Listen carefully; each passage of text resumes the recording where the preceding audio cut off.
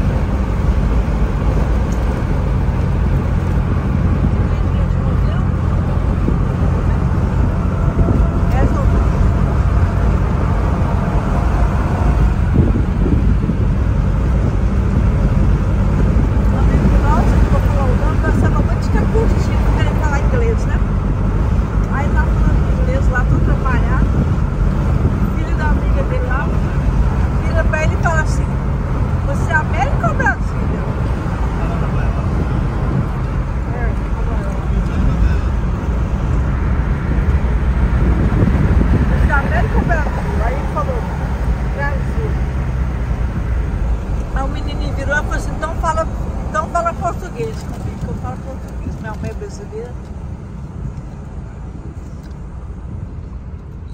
Hum, porque ele estava sofrendo, né?